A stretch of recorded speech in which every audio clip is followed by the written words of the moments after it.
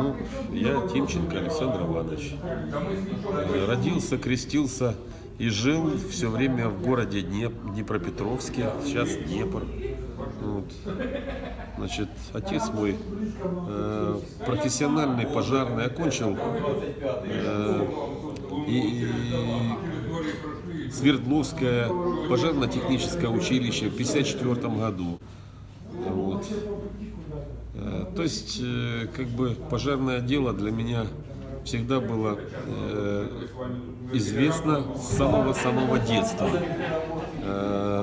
Если брать уже так серьезно, то, наверное, вот как э, отца назначили начальником третьей пожарной части города Днеп- Днепропетровска, то там вот мы же жили все вместе, и я все вот это видел, и оно в меня впитывалось ну, как в губку. И когда подошел мой черед выбрать профессию, наверное, у меня не было никаких шансов выбрать чего-то другое. Хотя предлагали стать и музыкантом, там, и каким-то другим человеком. Но, наверное, все-таки вот это было уже заложено во мне. И я не стал э, искать чего-то другого и сопротивляться. Да. Поэтому пошел в училище с радостью и я и там учился с достаточно э, высоким энтузиазмом. Ну и слава богу, окончил его. И получил назначение начальником караула. Я вот думаю, самые большие кайфовые вещи были именно там. А может быть и нет, потому что дальше тоже кайф был. Э, Было и заместителем начальника 25-й части в городе Днепропетровске. А, Наверное, тоже было интересно, потому что им, э, ну, все это было интересно. Ну, наверное, вот такие самые, конечно, запоминающиеся и животрепещущие вещи были, конечно, в штабе пожаротушения. А кем ты там был? Я там был руководитель э, РТП ДСПТ УГПУ УМВД. Ну, теперь Э. Такая длинная аббревиатура. Э, э, А короче? Короче говоря, был помощник начальника штаба. Вот. Ну, оно, вот вся эта аббревиатура, она выкладывается в какие-то интересные такие названия. Но, тем не менее, это все, наверное, можно опустить. Это тяжелая физическая работа на пожаре, начиная от того, что ты э, проводишь разведку и заканчивая тем, что ты э, иногда просто тупо тягаешь рукава, значит, э, тягаешь людей на себе, э, своих же сослуживцев. То есть, э, как бы так, все зависит от того, насколько тяжелая обстановка. Ну Вот. А дальше? А дальше замначальника штаба пожаротушения.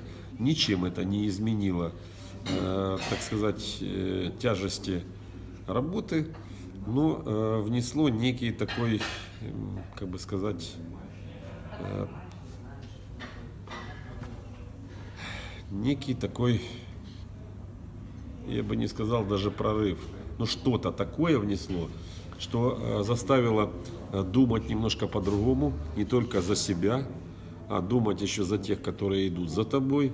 Потому что когда ты был, допустим, помощником начальника штаба, у тебя был еще впереди руководитель, который тебе объяснял, что надо делать, или давал задачу, которую ты знал, как сделать.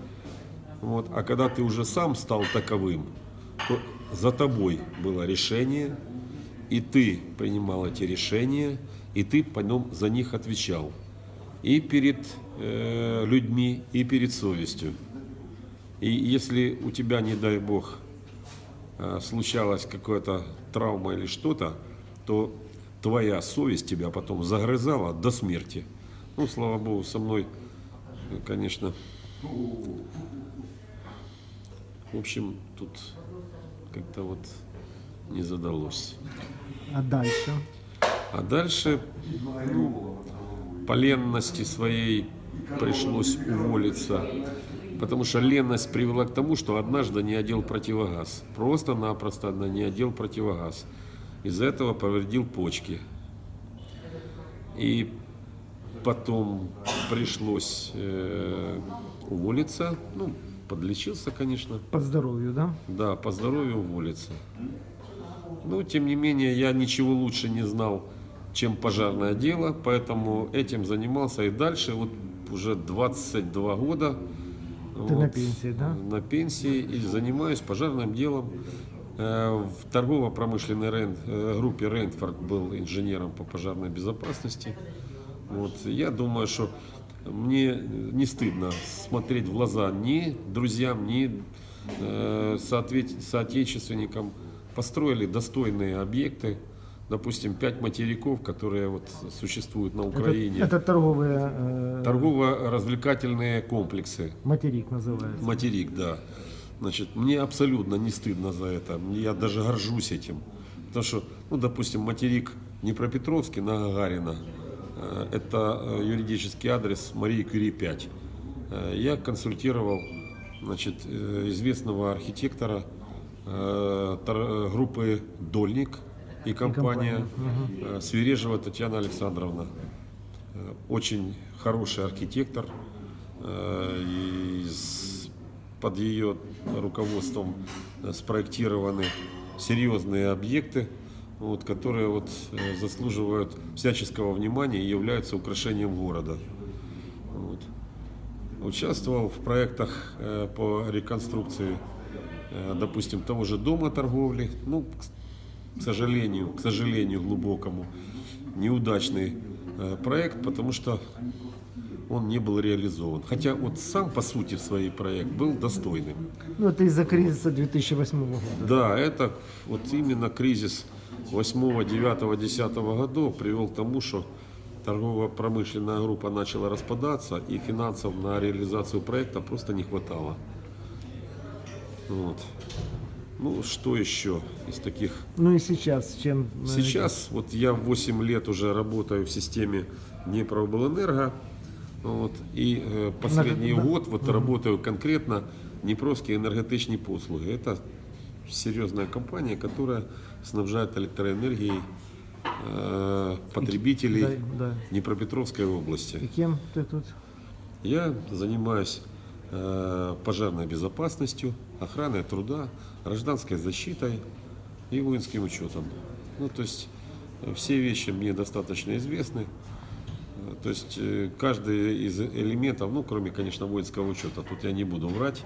Тут мне спасибо помогают мои коллеги по Днепровским электрическим сетям. Вот. Э, Все остальные вещи достаточно мне известны. Все это мы когда-то изучали вот, в какой-то части. То есть, ну, как бы, э, чем могу, помогаю компании для того, чтобы она существовала э, на правильных засадах, вот, имела э, как бы уважаемый статус. Ну, как-то так вот это вот Да, называется. теперь пожелай нашим молодым пожарным. э, Что ты можешь пожелать нашим молодым пожарным? Думаю Есть? так. Конечно, да. Конечно. Но первое, что я хочу пожелать тем, которые э, взялись за вот это серьезное, очень серьезное и, я не побоюсь этого слова, тяжелое и благородное дело. Тяжелое и благородное. Значит, чтобы перво-наперво они учились. Учились серьезно и на, наполегливо. Хорошее украинское слово наполегливо. Э, Во-первых, потому что э, сегодня, может быть, ты эти знания никак не, не понимаешь, как их применить, а завтра, когда у тебя придет мудрость в голову, ты с удивлением обнаружишь, что эти знания тебе более чем необходимы. Я это вот с сегодняшнего дня оцениваю именно так. Когда-то меня этому всему научили, я сегодня понимаю, что это применимо, э, не просто применимо, а необходимо. И надо людям это объяснять и рассказывать. Вот это вот первое такое пожелание. Второе, чтобы, конечно, они соблюдали свои физические кондиции. Физические кондиции в этом деле это э, ну, одно из очень-очень важных вещей, которые э, как бы должны сопровождать эту работу. А что такое физическая кондиция в твоем? Физические кондиции. Это, во-первых, во-первых, это э, умение выполнять вот те самые простейшие упражнения и э, вещи, которые вот должен уметь выполнять спасатель. Ну, допустим, давай! допустим, э, движение по э, тоже лестнице. Э, Допустим, э, э, движение по поверхности, бег. Ну, бег, да. Допустим, э, подъем тяжести или там каких-то других вещей, физич- физические нагрузки. Это все крайне необходимо. Если ты этого не можешь делать, ты в оперативной работе просто бесполезен. Мозги – это замечательно. Мозги, которые сопро- с- э, сопряж- ну, сопровождаются физическими возможностями, это хорошо. А если эти физ- физические возможности доведены до совершенства, это круто. Уже 40 минут дают. Саня, что ты там рассказываешь? Крутой спасатель, крутой спасатель, это тот, который дружит с мозгами и имеет все физические кондиции для того, чтобы выполнить поставленную задачу. А задачу ставит жизнь, задачу ставит ситуация. Ну, вот примерно так.